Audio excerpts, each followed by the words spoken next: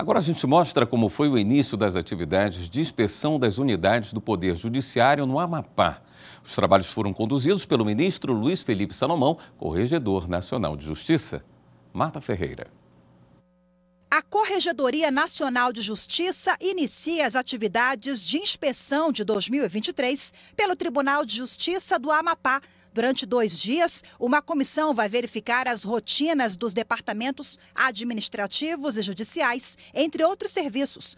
A inspeção de unidades judiciais é uma atribuição da Corregedoria prevista no regimento interno do Conselho Nacional de Justiça. Ao final, são produzidos relatórios que apontam eventuais deficiências nas unidades e também destacam boas práticas implementadas pelos tribunais.